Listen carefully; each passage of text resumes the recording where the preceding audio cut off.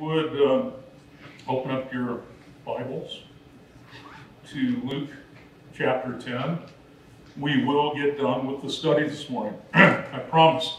You know, it's been uh, going on for three weeks, but it's kind of hard to squeeze everything in in a half hour or less every Sunday. I'm just not used to that because we used to go like 45 minutes and a little bit longer in the teachings. I still haven't been able to do the condensed thing.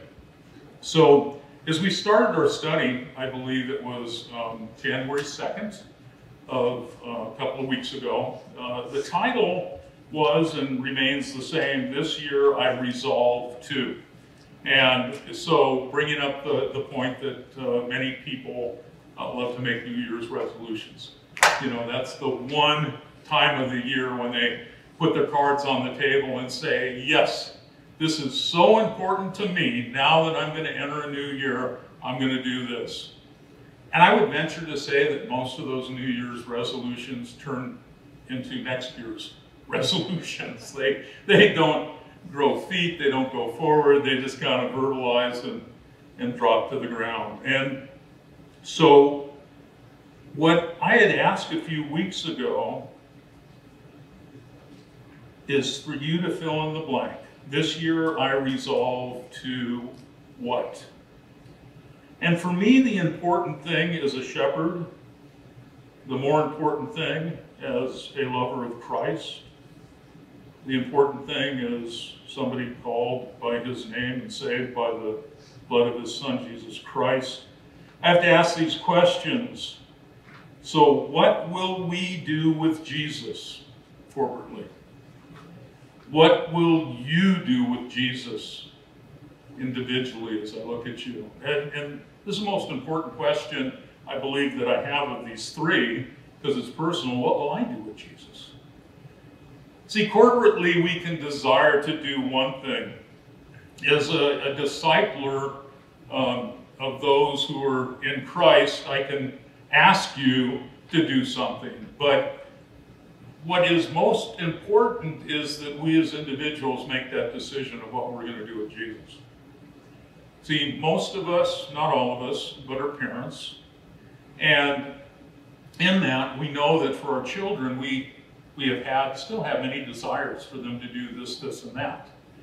And we can pray, we can cajole, we can take and try and um, do those things that prompt our children or grandchildren or loved ones to do what we want them to do. But Bottom line is, unless it's their choice, and unless it's their decision, it, it's still something we want them to do, but they're not going to go forward in that. And so, as we conclude our study this morning, Jesus has sent, depending on your translations, he's uh, sent either 70 or 72 out into the surrounding area to proclaim his coming.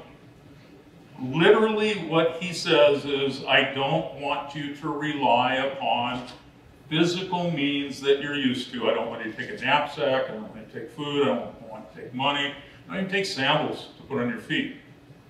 I want you focused on the message that you're to bring to those that are perishing, the message of the good news. I want you to be sowers of the good news. So many times we we don't really want to be sowers, we want to be the reapers, right?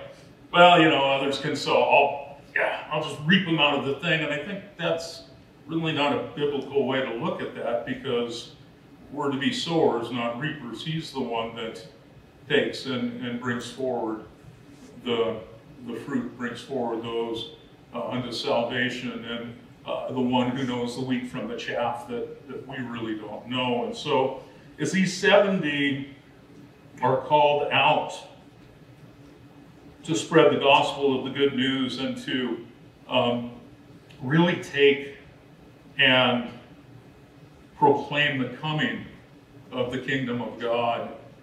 It's important that we understand that that's what we're to do. We're to be good table setters. We're to be good table waiters. And in that, simply bringing forth the good news of the gospel of salvation to those that are perishing. And we can look around in this day and age, and I'm not going to say that we are a special uh, in a special season of life that nobody else has ever been in. I think I'd be foolish to say that.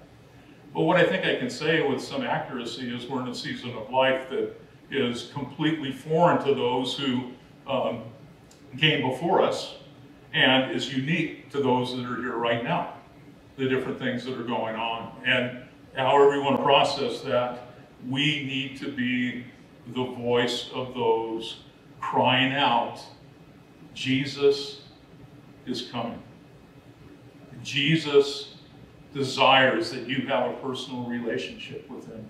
Jesus desires that you receive the Word of God, that you might be forgiven of your sins and saved. And I think that's what the message um, is the past two weeks, last week, and, and this morning. Reading out of Matthew chapter 16, verses 24 through 26. Jesus speaking. If anyone desires to come after me, let him deny himself and take up his cross and follow me. For whoever desires to save his life will lose it, but whoever loses his life for my sake will find it. For what profit is it to a man if he gains the whole world and loses his own soul? Or what will a man give in exchange for his soul? For a lot of us, eternity is uh, a concept yet to be fully, I guess, dealt with. Eternity is uh, a concept I'm talking about intellectually, not spiritually. Uh, it, it's a concept that uh, we hear of others um, either uh, entering into eternity, those facing the prospects of entering into eternity. But for a lot of us, the ushering in of eternity in the lives of those whom we love and those who we know. It's a pretty real daily thing. It's a, it's a moment by moment um, event that we participate in. I'll be honest with you, just before I came up here, my phone dinged. And I told Janet all morning, I said, I'm so thankful that my phone has not dinged this morning. Because my phone during school, when I'm with the kids, uh, when I'm at home, and I'm not saying this because of my importance, I just, I'm just one of those guys, I got a lot of people that I'm blessed to have in my life. But my phone's been dinging a lot. And it's been dinging for prayer, it's been dinging to inform me that folks have entered into eternity. It's, it's been dinging oh, all kinds of different messages. But this morning I got a ding from a close friend that I went to high school with who's in the hospital. And he dinged to um, let me know that um, he was doing okay. And what that ding told me is that God had not ushered him at this moment uh, into eternity, which I'd be grateful for. You know? Man loves the Lord. But what it told me is he's still on this side. And he's still going forward. And so for these 70 that, that were sent out, these 70 that were given a pretty specific direction. These 70 that were told, you know what, when you go to a certain house and perhaps they don't have what you're used to eating or they're not the type of environment you're used to being in, don't, don't leave the house and go see if you can find a better meal deal someplace. Just stay where I got you. Receive what I have for you. Be a blessing to those that those that are struggling, those that want to receive the gospel, perhaps even uh, be a testimony to those who don't. That perhaps down the road their, their hearts might be changed. So I want to start out reading through our study this morning. I'm going to start out at verse 8 of chapter 10 of the Gospel of Luke. This is Jesus speaking through the entirety of our study this morning. Whatever city you enter and they receive you, eat such things as are set before you, and heal the sick there, and say to them, The kingdom of God has come near to you. But whatever city you enter and they do not receive you, go out into its streets and say, The very dust of your city which clings to us, we wipe off against you. Nevertheless, know this, that the kingdom of God has come near you. Verse 12. But I say to you that it would be more tolerable in that day for Sodom than for that city. Woe to you, Chorazin! Woe to you, Bethsaida! For if the mighty works which were done in you had been done in Tyre and Sidon, they would have repented long ago, sitting in sackcloth and ashes. But it will be more tolerable for Tyre and Sidon at the judgment than for you.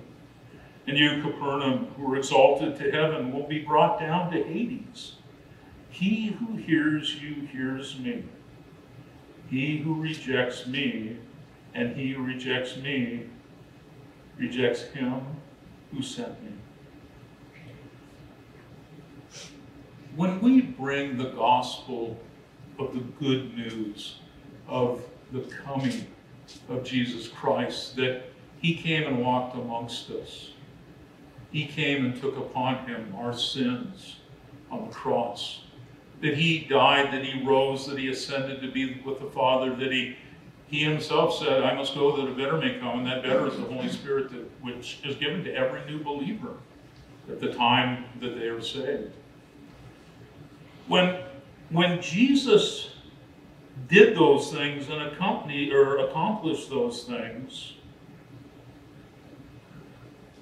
he did those things in spite of us, not because of us. It was will of the Father for him. It was will of the Father for him to go to the cross. It was will of the Father for him to die. It was the will of the Father for him to uh, have the sins of the world upon him. And in that, the Father, Son, and the Holy Spirit, sometimes we uh, don't speak of the unity of the Godhead, three in one. But as the 70 went forward to proclaim Jesus' coming, that the kingdom of God was coming, some were received, others were cast aside, and still many others were mocked. And I don't think that's any different for us today as we bring the gospel to those that are perishing.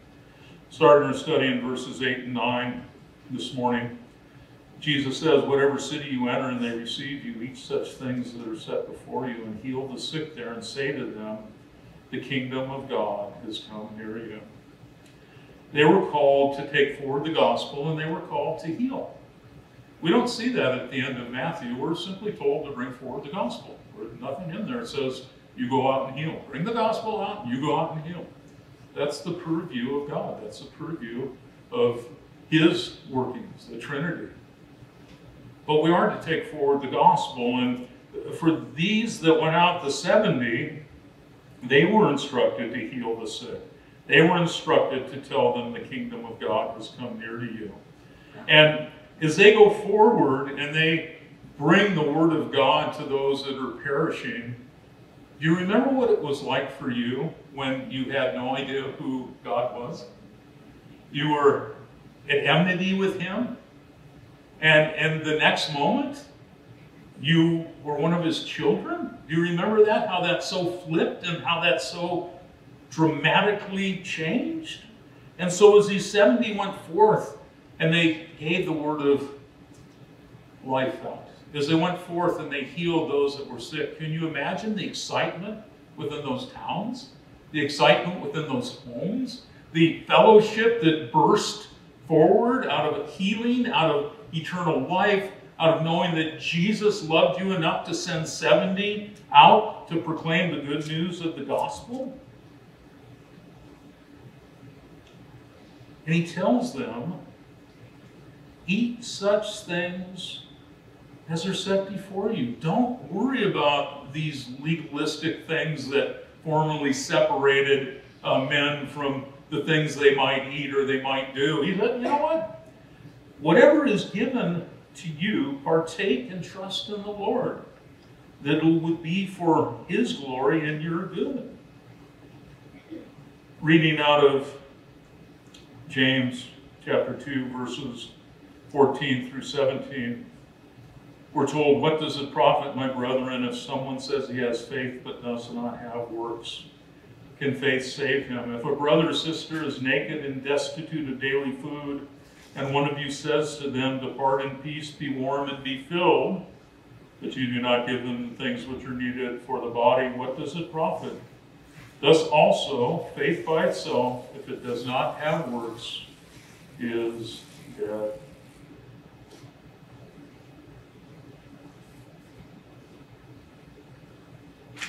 Not only did Jesus tell them to trust, but James reiterates the fact that our faith is a fruitless faith if it's not a faith that doesn't bear works. Once again, I know some people can twist this around, and I just, I always say this, I just want to make sure I'm not misunderstood. No matter how much you work, no matter how much you try, no matter how much you partake, no matter how much you give, no matter how much you're involved in, your works are not going to save you. And if you think your works are going to keep you saved, that's an even worse understanding. You're saved by the grace of God through faith. And that grace is you, by faith, accept what He has done and who He is, should result in the pouring out of good works. And that's to His glory for your good. And that isn't that you look and go, well, I did that, I must be saved. Well, no, that isn't quite how that works. You're given the Holy Spirit so that you know that you are saved you don't have to look at the externals, you have to understand the internal. That the day of Pentecost, every new believer from that moment to now and in the future is given the Holy Spirit upon salvation. And that's not going to go away. Verses 10 and 11 of our study this morning, Jesus continues, But whatever city you enter and they do not receive you, go out into the streets and say, the very dust of your city which clings to us we wipe off against you. Nevertheless, know this, that the kingdom of God is come near you. See, they went to many cities, and the many cities that they went to, some of them did not receive them. Some of the cities just said, hey, we got nothing to do with you.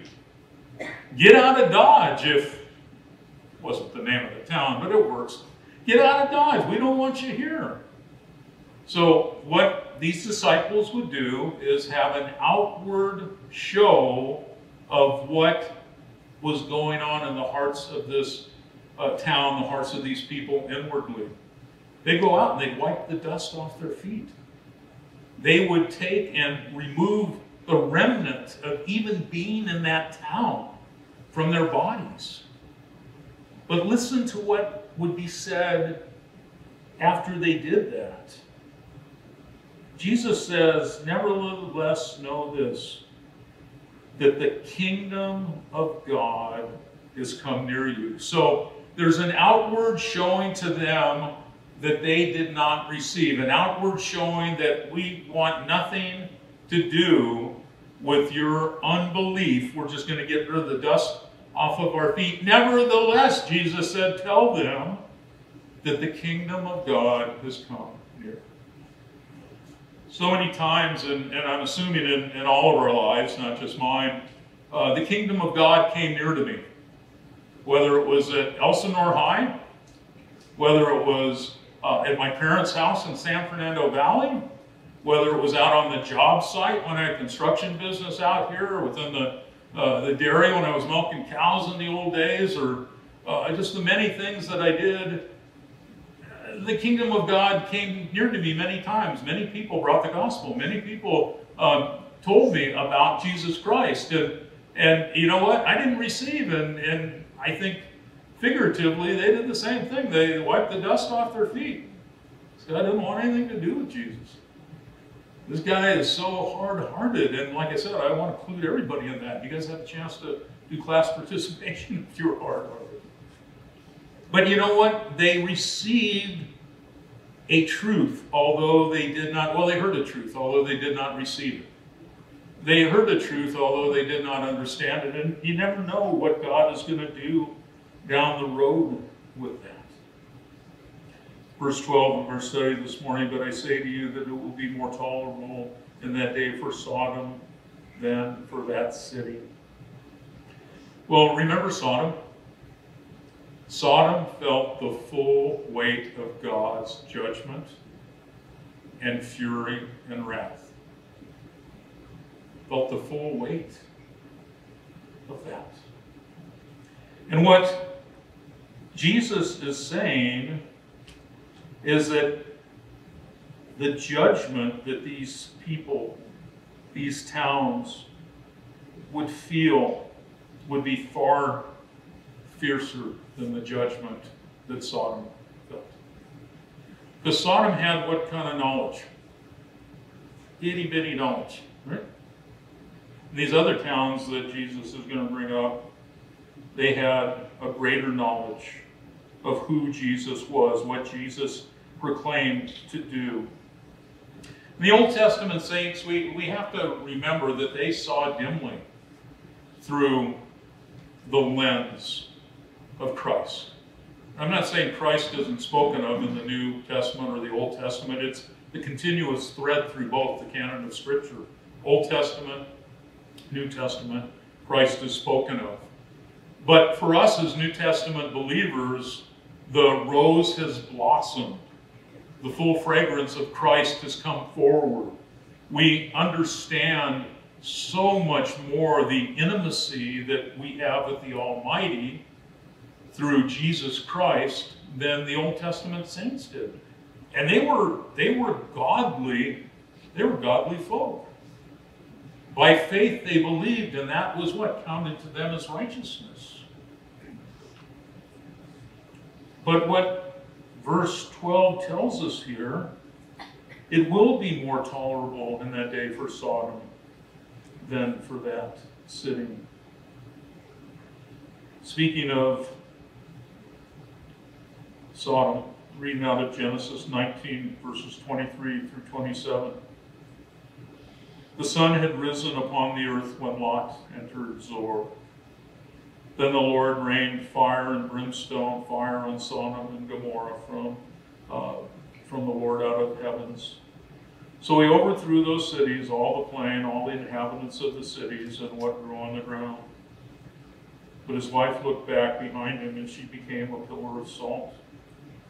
And Abraham went out early in the morning to the place where he had stood before the Lord. Then he looked toward Sodom and Gomorrah and toward all the land of the plain, and he saw, and behold, the smoke of the land which went up like smoke of a furnace. And it came to pass when God destroyed the cities of the plain that God remembered Abraham and sent Lot out of his out of the midst of the overflow or the overthrow and when he overthrew the cities in which Lot had dwelt. See, judgment is coming. Judgment is coming for those who don't know the Lord. And I think Spurgeon, I'm going to butcher this, so forgive, forgive me, Mr. Spurgeon. Spurgeon says, if there are many who desire to hurtle themselves into hell. May we, the saints, be there at the precipice with outstretched arms, pleading with each one of them to accept the gospel of Jesus Christ. See, it's a simple thing to understand that God so loved, that he so gave, that we so have. That's a pretty simple thing to embrace if we're saved, right? I mean, it's, it, it's a pretty easy thing to get if we're saved.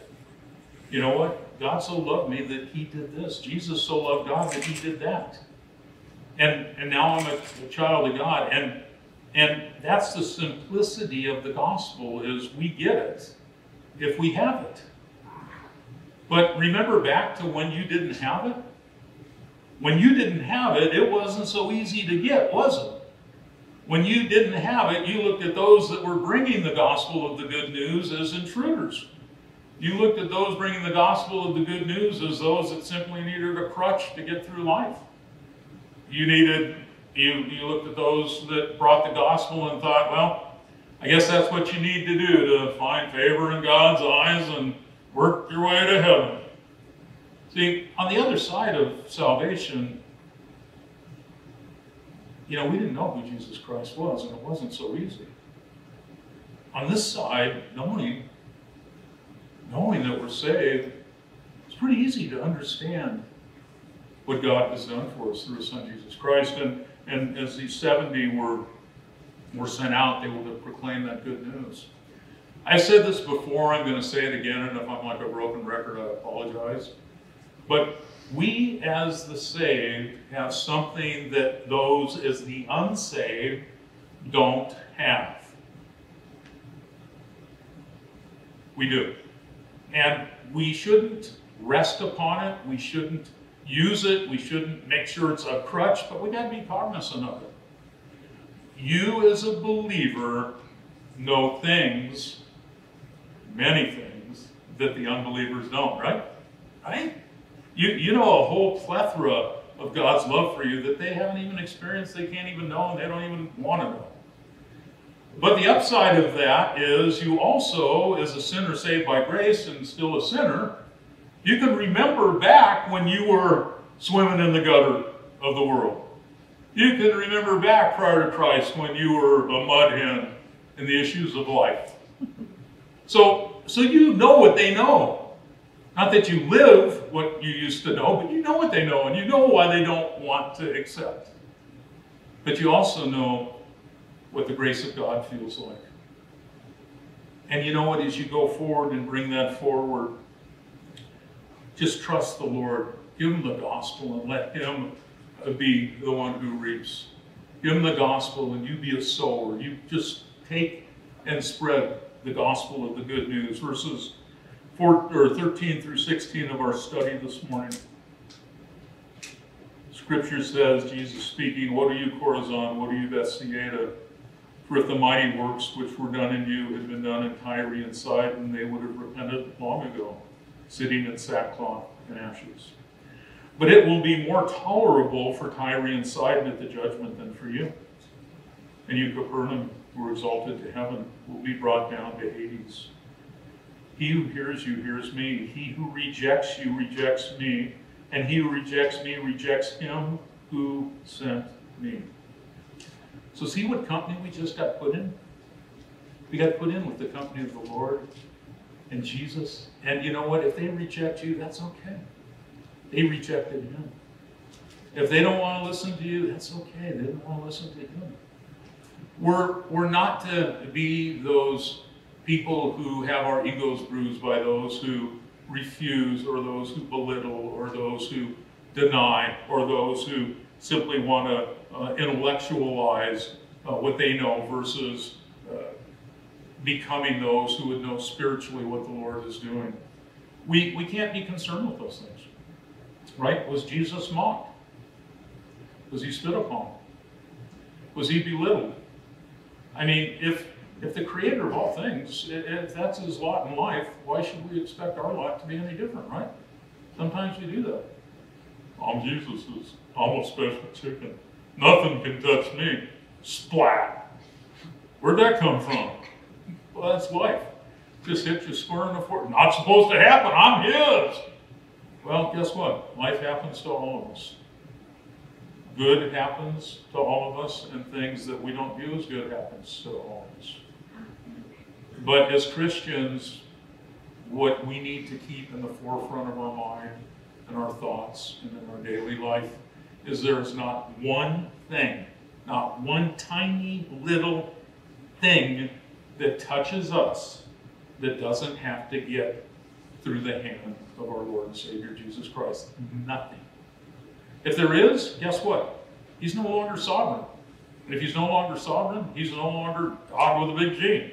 And if he's no longer God with a big G, it all comes tumbling it down, which it doesn't.